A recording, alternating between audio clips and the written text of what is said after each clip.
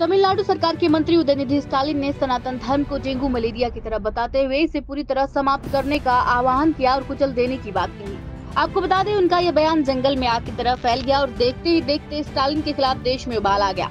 आम आदमी से लेकर राजनीतिक गलियारों में भी उबाल गया। दिल्ली समेत देश के अन्य हिस्सों में उनके खिलाफ मुकदमे दर्ज कराए गए। स्टालिन का बयान ऐसे समय आया जब ईसाई बहुल देश अमेरिका के स्टेट जॉर्जिया ने अक्टूबर माह को हिंदू विरासत माह घोषित किया है। बता दें इससे पहले इस राज्य ने हिंदू फोबिया को लेकर कानून बनाया था। अमेरिका के कई अन्य राज्य हिंदू त्योहारों पर छुट्टियाँ घोषित कर चुके हैं। इस विरोधाभास के बीच समझना ज़रूरी हो चला है कि आखिर सनातन धर्म क्या है?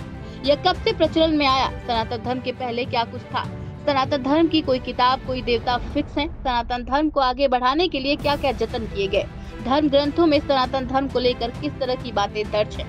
आपको बता दें कि अयोध्या के आचार्य रघुनाथ दास शास्त्री जी कहते हैं सनातन अर्थात जिसका कोई अंत नहीं, जिसका कोई आदि नहीं। ऐसे में सनातन धर्म की उत्पत्ति कब हुई, इस पर टिप्पणी ही बेनामी है। जो लोग इस पर सवाल उठा रहे हैं, वे अज्ञानतावश ऐसा कर रहे हैं। उन्हें एक बार सनातन धर्म के बारे में पढ़ना ज़रूर चाहिए। यह अकेला धर्म है जो सबकी भलाई की बात करता है।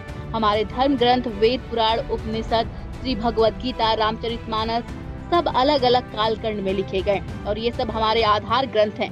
राम और कृष्ण का जन्म अलग अलग युग में हुआ। उन्होंने अपने जीवन में आदर्श प्रस्तुत किए तो दुष्ट शक्तियों का नाश करने में देर नहीं की। यही सनातन है। यही सच है। सनातन कभी किसी धर्म की आलोचना नहीं करता। वह सब में समाया हुआ है।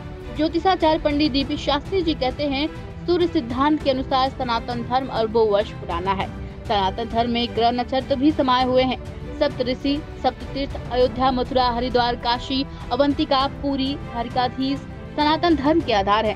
श्री शास्त्री जी कहते हैं, वाल्मीकि रामायण में चौसठ हज़ार तीर्थों की गणना की गई है। चार युग में चार मंदिरों की चर्चा की गई है। सतयुग में बद्रीनाथ केदारनाथ, त्रेता में रामेश्वरम, द्वापर में द्वारिकाधीश तथा कलयुग में जगन्नाथ पुरी है। ऐसे में जिस धर्म का रिश्ता सतयुग से हो, उस पर सवाल उठाना दुर्भाग्यपूर्ण है। अयोध्या के आचार्य स्वामी विवेकानंद सनातन की उत्पत्ति पर एक श्लोक सुनाते हैं। सनम ज्ञानम तनोति विस्तार यति इते सनातन। अर्थात जो शाश्वत चीर अस्थायी निरंतर ज्ञान का विस्तार करे, वही सनातन है।